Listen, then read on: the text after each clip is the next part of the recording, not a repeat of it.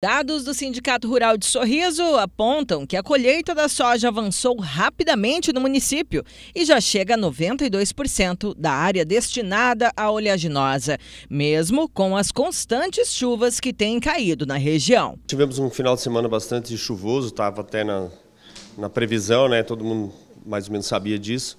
Mas graças a Deus, antes disso, nós tivemos um período praticamente de 15 dias de pouca chuva no, no nosso município uh, fazendo com que a colheita avançasse bastante. Hoje nós, pelo levantamento do sindicato, mais de 92% já da nossa safra colhida, então uh, avançou bastante nos últimos dias, apesar dos últimos 4, 5 dias praticamente ninguém ter conseguido colher em função de, de muita chuva. Segundo Sadi, sempre há preocupação com os fatores climáticos na reta final da colheita.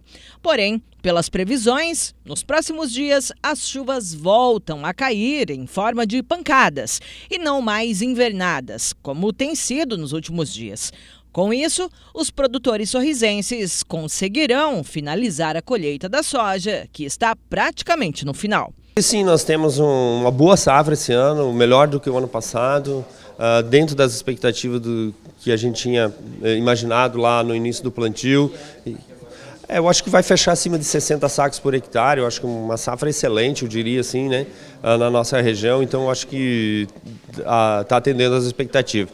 Muito bom isso porque esse ano é o, o, o, ano assim de maior custo de produção da nossa história, então é bom que o produtor consiga fazer uma boa colheita também para poder enfrentar esse custo tão alto que foi a, a, implantação da safra 2022-2023. As áreas que antes eram ocupadas pela soja vão dando espaço para o milho, outra cultura forte da região e que também já está na fase final de plantio. Uh, estamos conseguindo fazer um plantio de milho dentro da, da janela ideal, né?